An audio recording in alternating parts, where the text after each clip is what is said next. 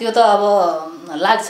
कुनै कुनै बेला अब त्यो सुरक्षित बच्चाहरूलाई सुरक्षित त्यतिखेर अब छोरालाई नि राखेको भए राख्न पनि सकिन्थ्यो। राख्न सकिन्थ्यो राख्नु पा पाएको भए हुन्थ्यो जोगाउन सकिन्थ्यो भने त हुन्छ पीडा। त्यो हुन्छ त्यो भावना पनि आउँछ कहिलेकाहीँ। र फेरि मेरो छोरो त जोगिन्थ्यो होला। यत्र चाहिँ जनताका छोराछोरीहरू यत्र साथीहरू नि त बलिदान भएको छ। यत्र टुरा बालबच्चा छन् छोराछोरी छन् बाआमा टुरा हुनुहुन्छ। र जोगाउन सक्दा त राम्रो हुन्थ्यो।